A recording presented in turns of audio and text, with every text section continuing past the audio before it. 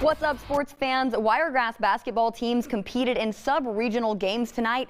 In Dothan, Houston Academy hosted New Brockton. The Raiders won 3A Area 3, and the Gamecocks were the runner-ups in 3A Area 4.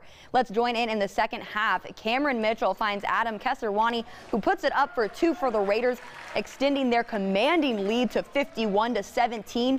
And it's not long before New Brockton's Anthony Soler is in trouble, tries to find a teammate, but Kesserwani is there and finds Caden Mitchell, who puts another two on the board for the Raiders.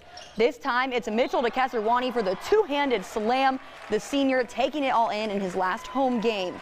Caden in trouble tries to get it to Malone Liddon, and it's his brother who comes up with it, Cameron Mitchell, for another two points for Houston Academy. Here's Yesiah Russo with the layup for the Gamecocks. Liddon finds Corey Campbell at the top of the key, who sinks a three for HA. George Zeron gets it to Cameron Dyer, who scores two and gets the foul for the Raiders. Eli Saliba finds George Zeron this time in the corner. Give the man three. It's 78 to 22 Houston Academy. Ethan Coachman with the steal and the fast break layup for the Raiders this time.